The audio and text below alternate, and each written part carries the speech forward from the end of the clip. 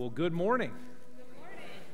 Uh, thank you all for being here today. Um, so, I am filling in for uh, Pastor Jonathan today. He and Bethany are out celebrating their anniversary. And so, we are very excited for them as they get to do that. And please join me in prayer for them uh, throughout the next couple of days as they prepare to travel back, that they'll have safe travels uh, and, and get back safe. Uh, so today we're going to be continuing in our Summer on the Mount series. So if you have your Bible, go ahead and open up to Matthew chapter 5, and we're going to be starting in verse 38. So, over the past several weeks, as we have been doing this series, we have been walking through Jesus' teachings on the Sermon on the Mount. And one of the things that you might have noticed if you've been here is what Jesus is doing is he is shaking things up in the religious community because he is taking laws that the Jewish people have known for generations and interpretations and understandings. And what he is doing is he is saying, hey, here's how you've gotten this wrong. Here's what it actually means to follow this. And here's what your life should look like. And so today we're going to do the same thing because Jesus is going to be talking about uh, our, our understandings of justice and fairness and how we want to respond when we feel like we have been treated unjustly or unfairly. A couple years ago, Ellie and I, when we moved to Austin uh, for me to take this job, her cousin and her cousin's family had also moved to Austin about the same time. And so we invited them over. And so they come over. And now here's what I have to explain about the situation that Ellie and I, we had two dogs. Okay, I have a dog He's not no longer with us, but Dirk, who was our German Shepherd, who was this big, massive, goofy German Shepherd. And then we had Boaz, who was, is, we still have him today, as a mutt, and is about 55 pounds. So we have two big dogs. Now, my cousin's family, they had two small boys, and the small boys had not encountered dogs very much. And there was a little bit of anxiety and a little bit of fear about meeting the dogs. And the problem is, our dogs, if I'm being honest with you, were not super well trained. Okay, so Boaz is what I like to call a close sniffer. And here's what I mean by that Boaz would never lick you. If he does, you probably have food on you. But what he will do is he will get uncomfortably close to you and sniff you. If you ever had someone in your life try to annoy you by putting their hand right here and saying, I'm not touching you, I'm not touching you, that is Boaz. But he's going to sniff out your soul and figure out what kind of person you are. Dirk, on the other hand, is a kisser, all right? He is going to walk up, he is going to lick you in the face, whether you want it or not, all right? He had a giraffe tongue. That thing would find you around corners. You think you're safe and it gets you, okay? So we know this going into it. And so we greet them, the dogs are up, and then the boys come and sit on the couch. The parents are sitting on either side. I'm like, we're going to do our best to make this a very pain, painless process where the boys can greet on their own time. So we open the door with the dogs out, and almost immediately, Boaz jumps in between the children and the parents and is just right here in the boy's face, just sniffing very closely. There's already some uneasiness. Dirk makes the rounds, and then he goes by and he catches the youngest boy smack dab in the middle of the face with just a giant kiss, like just a lick right up the face. And it's one of my favorite responses I've ever heard in my entire life because he immediately starts to scream, It's not fair. And he is just yelling, It's not fair because an injustice has been done. He's having an existential crisis at this point. He's questioning how a loving God could allow suffering in the world, right? I mean, it is one of these things that has shaken him to, a core, to his core. And it's a silly story, but I tell it to communicate this point that all of us, from the time that we are very young, because we have been created in the image of God, have inherited a sense of justice, a sense of fairness, and a sense of what is right and what is wrong.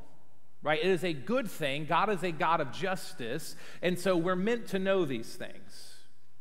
But the problem is, we're fallen people. And so, while we'll be able to identify what right and wrong is, and we'll be able to tell what's fair and what's unfair, the issue that comes into our lives is whenever we decide how we are going to handle anybody who treats us unjustly or anybody who treats us in a way that we do not enjoy or who insults us. And what so often comes out of that is that we take it into our own hand and say, I'm going to handle this. I will deal out retribution. I will deal out vengeance. And I will make sure that things get even. And what Jesus is going to do today is going to challenge this and say, hey, You've been misunderstanding this teaching, so let's correct it and let me show you a better way. So we're going to start in verse 38. It says this You have heard that it was said, an eye for an eye and a tooth for a tooth. But I say to you, do not resist an evil person, but whoever slaps you on your right cheek, turn the other to him also. If anyone wants to sue you and take your shirt, let him have your coat also. Whoever forces you to go one mile, go with him two. Give to him who asks of you, and do not turn away from him who wants to borrow from you. You have heard that it was said, You shall not love and hate your you shall not you shall love your neighbor and hate your enemy. But I say to you, love your enemies and pray for those who persecute you, so that you may be sons of your Father who is in heaven. For he causes his sun to rise on the evil and the good, and send rain on the righteous and the unrighteous. For if you love those who love you, what reward do you have? Do not even the tax collectors do the same? If you greet only your brothers, what more are you doing than others? Do not even the Gentiles do the same? Therefore, you are to be perfect as your heavenly Father is perfect. Now, let's be honest. That is an incredibly challenging piece of Scripture. And not necessarily because it's hard to understand what Jesus is saying, but because it is incredibly hard to practically do what Jesus just commanded. Everything in us naturally wants to do the complete opposite of what Jesus just commanded. We will take care of it if someone insults us. We will get our vengeance. Like, I don't know about y'all, but if somebody insults me, my first response not to be like, please continue, right? It's not to offer them to keep doing it. No, I'm going to respond in anger and in frustration. But we have been called to something different. Now, the question would come up well, why is Jesus talking about this? Why is he dealing with this issue? I think there's a couple of reasons that we need to look at. And the first one is this is that truthfully, the law was being mishandled, mistreated, and misused. And so Jesus is going to speak truth into that. And we're going to cover that in more detail here in just a moment. I think you can also look at what does our typical response bring about in relationships? And also, are we bringing glory to God's name in our response? And does our life look any different from the world around us? James 1, James chapter 1, verses 19 and 20 says this This you know, my beloved brethren, but everyone must be quick to hear, slow to speak, and slow to anger. For the anger of man does not achieve the righteousness of God. So, our anger, our response, our retribution does not bring glory to God's name. It does not achieve the righteousness of God. It looks exactly like the rest of the world does. And if you're being honest, for those of us who have always handled things on our own, let me ask you a question Is there a lot of peace in your relationships? You see, oftentimes we'll handle it and it might make us feel better in a moment and make us feel vindicated, like we've gotten our hit back. But at the end of the day, there's a better way and something else that we have been called to. And so that's what Jesus is going to deal with. And now, listen, this is an extremely challenging thing to do. This is a hard passage of Scripture because we really don't want to do the things that God's called us to. However, what I've tried to do in this sermon will hopefully communicate well to you is that I believe there are three traits that Jesus identifies in the text and that he calls us to. And the first one is this this is our first point that we are called to be humble. So if you look back at the text, you look in verse 38, it says, You have heard that it was said, an eye for an eye and a tooth for a tooth. Now, that's incredibly easy to understand right? Every, pretty much every religious system that exists in the world, pretty much every justice system that exists in the world has a teaching that is similar to this. It's not hard to understand. You poke me in the eye, I poke you in the eye. You chip my tooth, I'm going to chip your tooth. It makes sense, it's logical. And this verse was given in Exodus chapter 21, verse 24, and it was given by God. It is a good law, it is a just law. So, what is Jesus trying to correct? There were two things that were being mishandled about this verse in the synagogues and with the religious leaders. The first is this that they were taking a commandment and a law of God that was given in the civil context and they were applying it to personal relationships. So here's what I mean by that. If you go back and you look at Exodus chapter 21 and you read through it and you see the context, the law is being given to a judge. Now, the judge is who would rule over disputes and disagreements in between people who brought their cases to them. So, much like we have judges in our system today, it was a civil issue. But what had happened is that somewhere along the way, they had taken that out of the civil context, and this is how it should rule in the law, and they had taken it into personal relationships. So now, if you wrong me, it's not that we're supposed to go before a judge and a judge is going to mediate, mediate this fairly. Instead, I'm going to take care of it. I'm going to return fire. The problem with humans, though, is that often our response is not an eye for an eye. Our response is you poke me in the eye, I'm going to poke you in both of your eyes. Okay, you strike me, I'm going to strike you and kick you. All right? You do this to me, I'm going to do this back to you, and then I'm going to return fire. Which brings us to the second issue is they had taken a law that was given as a limit and they made it into an obligation. Okay, so the law was given so that the judge would know how to fairly rule in these cases. And it was given so that the punishment would not exceed the crime. Okay, it is an eye for an eye, it is not an eye for an arm and a leg. It is a tooth for a tooth, not a tooth for a life. Okay, so it was given as a limit so that people would not be unjustly punished. But what happened is, is we took it from a limit and we turned it into an obligation. So now, if you wrong me, I am not only justified in responding, but I am morally obligated to return fire back to you to make sure that justice is handled fairly.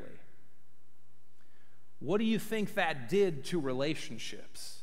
It's a never ending response, and it creates enemies, it creates dysfunction, it creates all kinds of disorder amongst the people of God. And so Jesus is saying, hey, that's not what you're called to. You're called to something different. And then we get to verse 39, and it says this But I say to you, do not resist an evil person, but whoever slaps you on your right cheek, turn the other to him also. Now, this is one of those one of the most controversial ones in this entire text right? Because it says if someone strikes you, do not respond, but instead turn the other cheek. And so it's important for us to understand this.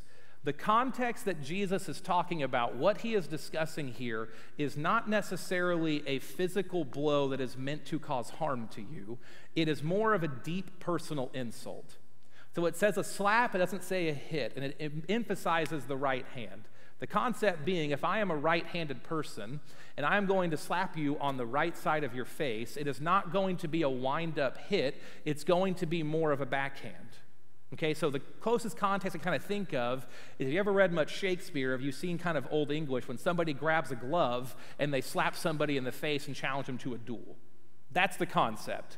That this is not a blow that's meant to cause you a lot of bodily harm, it is meant to be a deep, personal, embarrassing insult for you. What Jesus is not saying is that if someone comes at you with a bat, that you should just stick your jaw out there and take it. And then you should turn and let him hit you again. And that's a very important distinction. And also, the first part of the verse says, Do not resist an evil person. And this can also be misunderstood that Christians are supposed to meekly sit by and let evil and injustice rule in the world without saying anything. But if you keep reading in Scripture, you'll see that is absolutely not the case. We have been called to care for the marginalized. We have been called to take care of people who cannot take care of themselves and to defend them. Jesus himself, in just a few chapters, is going to go into the temple and he is going to flip over tables and chase out evil and corrupt people with a whip, right? So Jesus himself confronted evil. And so we have to understand the context that it's not about us not defending ourselves and not defending our family and not taking care of and confronting evil, but rather it's whenever somebody who is your enemy insults you on a personal level and treats you unfairly that you are called to turn the other cheek.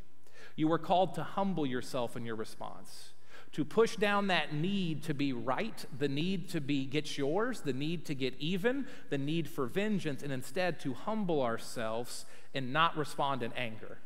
Okay, so that's the context that we're talking about. Then, if you go to verse 40 through 42, it says this If anyone wants to sue you and take your shirt, let him have your coat also. Whoever forces you to go one mile, go with him two. Give to him who asks of you, and do not turn away from him who wants to borrow from you. Now, this right here is all about going above and beyond. So, not only are we called not to respond in anger and not to return fire, we're actually called to be nice and generous and give more than has been asked. So, in Jewish culture, if someone was to sue you, they could sue you and they could quite literally take the shirt off your back. But what they could not do is they could not take your coat, they could not leave you without any clothing. So, what Jesus is saying is hey, if you get sued and they take your shirt, go ahead and give them your coat too. They were occupied by the Romans, and according to Roman law, a Roman soldier could walk up to any Jewish citizen and make them carry their equipment or their pack up to but not exceeding one mile. Right? So I want you to imagine if we were a conquered country and someone could walk up to you from this conquering army and make you stop what you were doing and carry a pack for a mile. We would rebel against that and not be super excited. But what Jesus is saying, hey, if that happens to you, carry it too. Do not say no to people who want to borrow from you. Instead, be generous.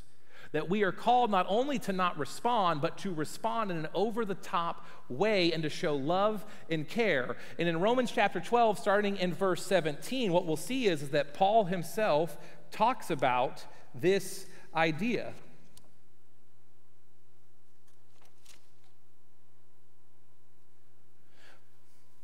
Give me just a second. I apologize. Can't find it in my notes, so we're going to actually just turn to Romans. But Paul talks about this concept and the importance of us responding with kindness whenever we are confronted by things that we do not want to respond with. So, verse 17 says this Never pay back evil for evil to anyone. Respect what is right in the sight of all men. If possible, as so far as it depends on you, be at peace with all men. Never take your own revenge, beloved, but leave room for the wrath of God. For it is written, Vengeance is mine, I will repay, says the Lord. But if your enemy is hungry, feed him. If he is thirsty, give him a drink. For in so doing, you will heap burning coals on his head. Do not be overcome by evil, but overcome evil with good. So, this is the concept that we have been given, and it's a continuation of what Jesus' teachings are. That we are called to not only not respond in anger in retaliation, but we're actually supposed to care for our enemy. We're supposed to give them food if they're hungry, give them a drink if they're thirsty. That we are supposed to go above and beyond and not to repay evil with evil, but instead to repay evil with good.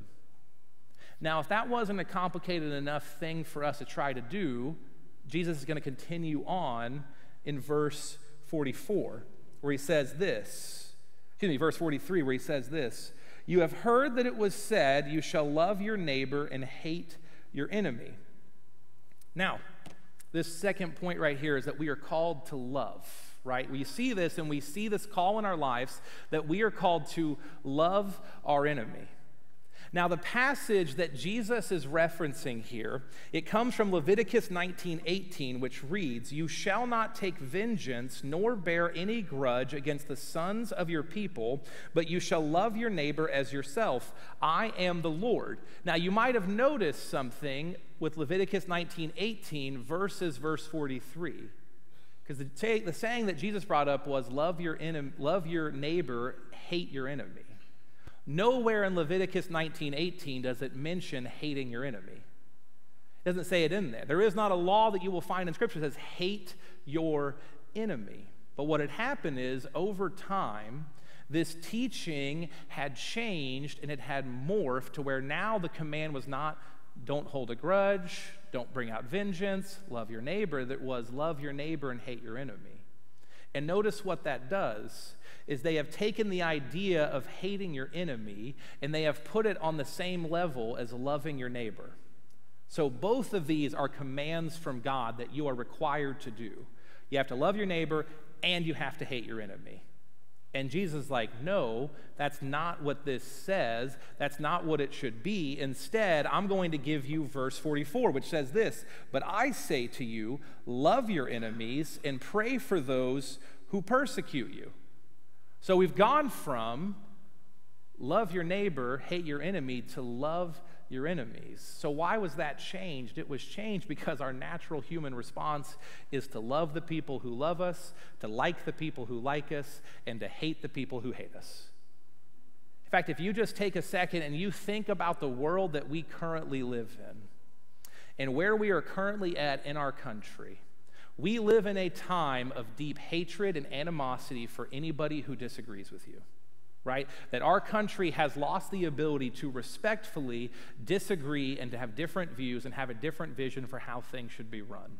And instead, we have gotten to the point where if you do not agree with me in my faith, if you do not agree with me in my political leanings, if you do not agree with me on my views on social issues, you are wicked and evil, and I hate you. And now, most of us in this room would probably not use the word hate, because if you're like me and grew up in a church, you're never, told never to say the word hate. It's too strong of a word. But in action and in deed, we will hate people who disagree with us. Because as a society, we have done everything in our power to find ways to divide people up into different groups, whether it be by faith, whether it be by race, whether it be by sexual orientation, whether it be by political party, whatever it may be. And what happens is, if there is somebody who doesn't fall in my category, it is easy to dehumanize and to hate that person and to view them as less than and to want bad things for them. Right? That's the natural thing. But we, as believers, are called to love. Now, I want to be very clear, so I don't want this to be misunderstanding. There is very real evil happening in our country. And not just happening, being pushed and being politicized that this is a good and loving thing. Where we are trying to our best to confuse children about what gender they actually are that we are pushing surgeries that will forever alter and maim a child's body in the name of progress and love. That there are, there are states who are okay with abortions up to nine months because it's a woman's choice right? There is evil that is happening in this country, and Christians, we should publicly and proudly be standing firm on what the Word of God says, and we should be speaking out against evil that is happening. And when it comes to voting, we should be voting based on biblical principles and things that we see in Scripture. But what has happened, and I know it happens because it happens to me as well, is that when we see people who we so vehemently disagree with, that instead of responding in love and grace and mercy while speaking truth, we respond in anger. Okay, one of my biggest weaknesses is I love comment sections on social media. I do. I love to read through them, and I shouldn't because it just makes me angry. So I'm like, how can you be allowed to type things? All right, because there's no way you can be a real person and believe this stuff. I can't tell you how many messages I have typed and had to go back and delete because it brings out these things in us. But we are called to something better. So speak truth, stand up against evil, stand firm in what you believe in, but do it from a place of love and humility while seeking the best for the person that you are going against, right? That we pray for them. And I want to be very clear on his because there's a country song that talks about, I'll pray for you, but it's I'll pray that bad things happen to you, right? The idea is you're praying for their benefit that God would bless them, that God would redeem them, that God would restore them and bring them into a right relationship with Him. That's what we have been called to do. Now, another, where, another place where this gets confused is a lot of times, much like turning the other cheek, is we can take it out of its proper context and we can apply it into things it does not actually belong in. What I mean by that is we'll say, okay, I'm supposed to love my enemy. So that means that I am supposed to just kind of let them do whatever they want. I'm supposed to say yes to things. I'm not supposed to be resistant. I'm not supposed to speak truth into their life. I'm supposed to kind of let them do their thing. Sometimes the most loving thing you can do to someone is say no. Sometimes the most loving thing you can do for someone is to deny your presence. Sometimes the most loving thing you can do for somebody is to speak in grace and in humility truth into their life. So every sermon I preach, I talk about my son, but in my defense, he's very applicable. So I have a one and a half year old son at home. Now, he does not have the greatest perspective on things. Okay, so as a child, he tries to put everything in his mouth. He puts himself in dangerous situations and he does things that I know as his father, this is not going to be good for you, this is going to be dangerous. And so, as his father, what do I do? I take the dangerous thing out of his mouth, I move him away from the dangerous situation, and I try to make sure that he's okay. But here's the deal in that moment, my son does not look at me and think, wow, you're being so loving. No, he thinks, why are you being mean to me? Why are you so cruel? Because sometimes love can be mistaken for cruelty by somebody who is struggling with something, right? But that doesn't change my requirement and my desire as a father to see what is best for my son. And so I am willing to let my son be upset with me. I am willing for my son to be upset because ultimately I know it's going to lead to, lead to the best things for him. And in the same way in our lives, we have been called to love our enemies, that we have been called to seek what is best for them, that God would prosper them, that things would go well for them. And it requires a little bit of discernment on our part, right? Because we have to make sure that when we respond in these situations, are we responding because we believe through the Spirit that this is what is ultimately best for them? Or are we responding because I simply think this would be easiest or most convenient for me? Or I want something bad for them? Right? It's a matter of the heart, but part of love is figuring that out.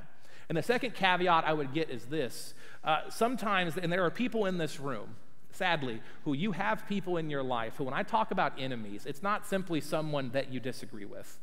It's not somebody who said something mean to you one time. It's not something like that. That there are some of you in this room who have suffered very real abuse, assault, neglect, and truly terrible things in your life. And that your enemies caused unspeakable pain and suffering to you. So, how do we respond in those situations? And I think it's so important to notice something in the text. At no point does Jesus talk about what they're doing or how you personally feel. He says that's what you're called to to love. But here's what I'll say you can love someone and you can pray for someone and you can forgive someone without continuously putting yourself in a bad situation. This is one of those things in Christianity that is often manipulated and it is used by people who abuse to try to keep people locked into a system of abuse because, well, no, no, no, no, you're supposed to love me so you can't leave. You're supposed to forgive me so you have to open yourself up to this. You can love someone from a distance right? So if you're in a situation where abuse is happening and someone is consistently wronging you and consistently t- taking advantage of you and doing bad things to you, then you need to remove yourself from that situation. You can love and pray for them, but don't keep exposing yourself to abuse, right? I think that's a very important thing to throw in there because a lot of times that's misunderstood. But we are called to love our enemies in the same way that God loves us. And this brings us to our third and final point, which is this that we are called to be an imitator of God. So if you go to verse 45, you'll see this so that you may be sons of your Father who is in heaven. For he causes his sun to rise on the evil and the good, and he sends rain on the righteous and the unrighteous. Now, that first part, it says to love your enemies and pray for those who persecute you so that you may be sons of your Father who is in heaven. Now, is this passage saying that in order to be a Christian, you've got to turn the other cheek and you've got to love your enemies? Well, here's the deal we're saved by grace through faith, not by works. So it can't be saying that you have to do this in order to be saved. But rather, what it is, this is a common expression used in that time that if you were to say you are a son of, it means that you are sharing in the characteristics of. Okay, so the idea here by saying that you are a son of God is saying that you are sharing in the characteristics of God and your ability to love your enemies, right? And then if you go down, it talks about right after that, it mentions that he causes his sun to rise on the evil and the good, and he sends rain on the righteous and the unrighteous. Now, what does that mean? Uh, there's a very real human condition that comes up sometimes where, whenever we're going through a hard time, we might look at somebody else who we would look at and say, that person is lost as the day is long. They are sinners, they are wicked. But yet, for some reason, I am suffering and they are prospering. For some reason, even though I am a follower of God, this person is being allowed to have power. They are being allowed to have wealth. They are being allowed to have success. God, why have you not taken them down yet?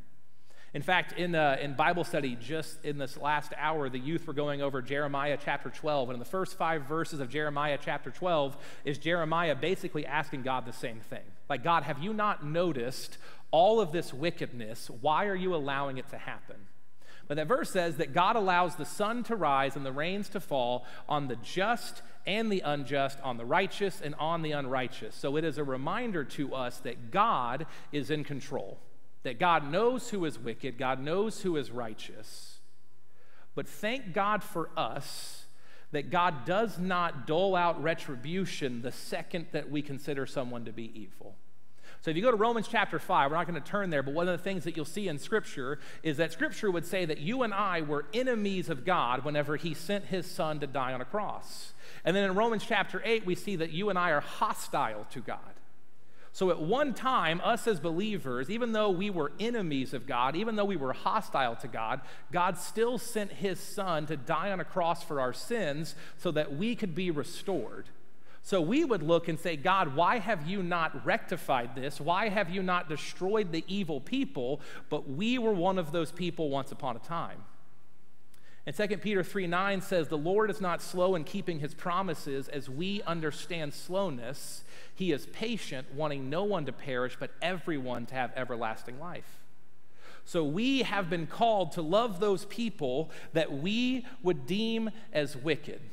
And that we are to love the people who we would love for God to smite and we would love for God to take down.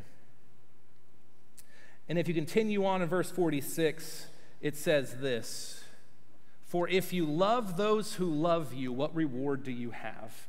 Do not even tax collectors do the same? If you greet only your brothers, what more are you doing than others? Do not even the Gentiles do the same?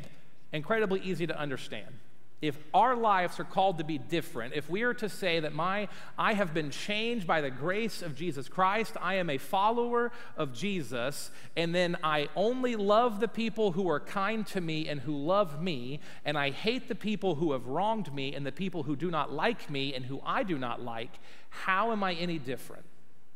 And he gives the indication of a tax collector. Now, a tax collector would have been seen as the chief of sinners, right? They were Jewish people who had sold out their own countrymen and paid for the right to collect taxes on behalf of the Roman government right? So they were actually paying money so that they could come to their own countrymen for the oppressors and take your money to give to the oppressors. And not only that, most of them were wicked and would take more from you than what it actually was. Like we didn't have an IRS that gave you a tax return that told you here's how much you owed. They kind of made it up, right? And so they were considered the worst of the worst. And God's like, hey, even the worst sinners do this. You're called to look different. You're called to be different. And if you look at Ephesians chapter 5, verses 1 and 2, it says this Therefore, be imitators of God as beloved children and walk in love, just as Christ also loved you and gave himself up for us, an offering and a sacrifice to God as a fragrant aroma. So we have been called to act and respond differently from the rest of the world. We have been called to love those who persecute us. We have been called to seek what is best for those who are evil. And we have been called to take care of our enemies. And if that wasn't hard enough, we'll do our last verse in verse 48. Therefore, you are to be perfect as your heavenly Father is perfect. So, just a small thing, right? that you and I, on top of all the other things that we struggle with, we have now been told you are to be perfect as God is perfect. Now, you might notice a problem with that. None of us are ever going to be perfect. None of us are ever going to perfectly fulfill the law. We are not going to be perfectly loving. We are not going to be perfectly kind. We will have days and times where we respond in anger and frustration and we do not give the grace that we are supposed to give. There are going to be times where we are going to take retribution and vengeance into our own hands and we are not going to repay evil with good. We are going to repay evil with evil. But here's the beauty of our faith that Jesus Christ perfectly fulfilled the law. That Jesus Christ was perfect as our Father is perfect, and that He died on a cross for our sins so that you and I might be rescued and redeemed and restored into a right relationship with God. Not because we are perfect, not because we are great, but because God is simply good. However, we have to be careful that we do not let our knowledge that we cannot be perfect give us an excuse not to do the things that God has called us to do we are still called to love our enemies, even though we're going to screw up sometimes. We're still called to show grace and mercy, even though sometimes we're going to be far from graceful or merciful. This is a pursuit, it is an obedience to God that we have been called to. One last thought, and then we're going to wrap up. Uh, one of the things that I think sometimes hampers our ability to have this ability to actually show grace and compassion and empathy to the people around us is most of us operate from a very limited perspective. And here's what I mean by that. We view everything through the lens of how we see the world, which makes sense because it's the only lens you can really see things through. And the interesting thing about us is that when it comes to us personally, we are kings and queens of understanding nuance, right? We understand why we act the way we do. I was having a bad day today, so that's why I was rude to my wife. Or, you know what, I have this going on. It's a stressful time in my life, and so I didn't handle that situation with as much grace as I should have. And we will give reason after reason and excuse after excuse as to why we fall short. But whenever somebody else dares to offend us, our response is, How dare you? Our response is not, Hey, what's going on in their life? Is there a reason why they're acting that way? But rather, it is an immediate, How could they? There's a quote from Plato that I've always loved, and it says this Be kind, for everyone you meet is fighting a hard battle. And it's a reminder that maybe there's a reason why people are acting the way that they are, because every single person in this world is a human being who struggles, has issues, has pain, and has hurt. And one of the things that I have learned in my time in student ministry that oftentimes the most difficult kid that I have to deal with the most difficult kids that are always disrupting, they're not paying attention, they're causing all kinds of issues, are often the kids who have been hurt the most and they have the most need for the love and affection that they are so aggressively seeking. And they're doing it because something has happened in their life. Now, here's the deal Is that an excuse for people to treat you terribly? Absolutely not. No. But you can't control other people right? I don't have the ability to, to fix other people's issues and make everything in their life be great and have them treat me exactly how I want to be treated. I have zero control over that. But here's what I can do I can do what 1 Peter 4 8 says. It says, above all else, love each other with a fervent love, because love covers a multitude of sins. So, no, I cannot control other people. I can't control how they act. I can't control how they're going to respond to me or what they're going to do. But what I absolutely can seek to control is how I respond to them. And that I can seek with all of my heart, in the grace of Jesus Christ and the power of his name, to love them fiercely, even if they're my enemy.